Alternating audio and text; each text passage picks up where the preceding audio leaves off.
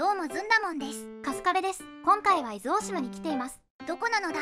東京から南に 120km ほどある場所にある伊豆諸島最大の島です。住所は東京なんですよ。平地理とか苦手なのだ。意義で著名な出身者を調べてみました。申し訳ないが知らんのだ。意義でせっかく調べたんだから触れていきましょうよ。知らない人にどう触れればいいのだ。ということで今回はここ。前に TikTok でよく見てたんですけど Google Earth に沈没船が映ってるって話題になった場所です。本当なのだ。じゃあ勝手に紹介するお店を散策しながらそこに向かってみましょう。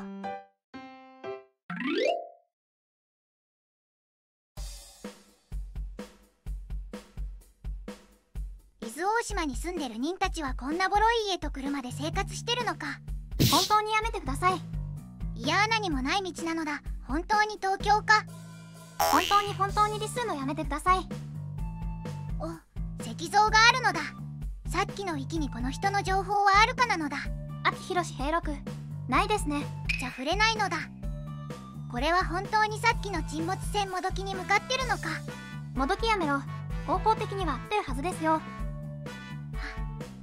ちゃんだ。じわっす。やけに斜度が高い駐車場なのだ。ほら港が見えてきましたよ。本当なのだでももう沈没船はもういいのだ。きっと Google アースのちょっとした不具合なのだ。そうですね。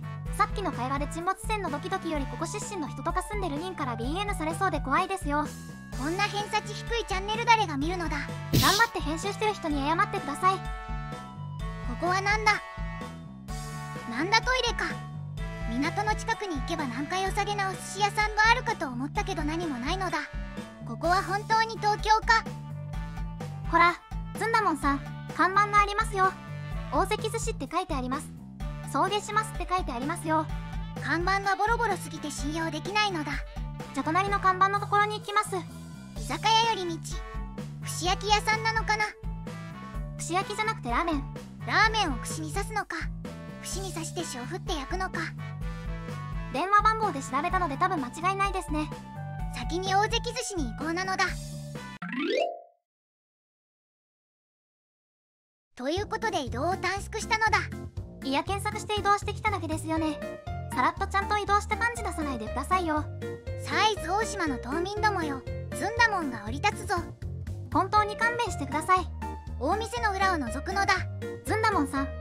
本当に美味しいお店というのは表だけじゃなくてお店の裏もちゃんと綺麗にしているものなのだ。そんなこと言って本当はググルアースでこういうことをするのが好きなだけですよね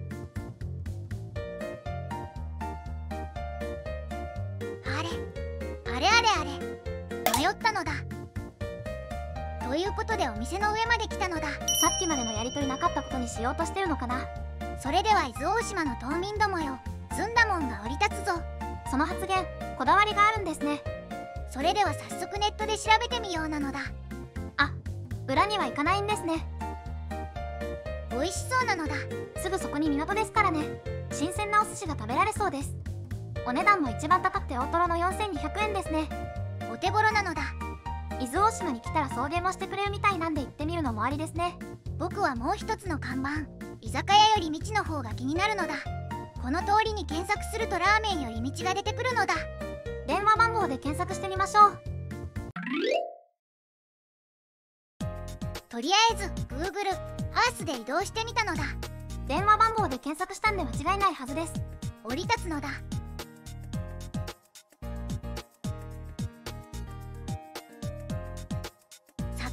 のだ。くくってみましょう。やっぱり電話番号で検索してもラーメンより道が出てきますのでここで間違いないですね。居酒屋感があるのはビールだけで本当にラーメン屋さんみたいなのだ。串刺し3年塩振り8年焼き一緒あの看板外せばいいのに。でも内観とても綺麗ですね。ラーメンも美味しそうです。居酒屋からリニューアルしたんでしょうか。わからしご自怪獣ラーメン。名物があるみたいですね辛いに自信がある人は行ってみるといいのだ。ネットで調べてみると辛いのを適度に食べると何かの病気の死亡リスクが減るらしいですよ。ま食いすぎは注意なのだ。みんなチャンネル登録よろしくなのだ。グッドボタンとここに行ってほしいってリクエストがあったら教えてください。それでは SE ユアゲインなのだ。バイバーイ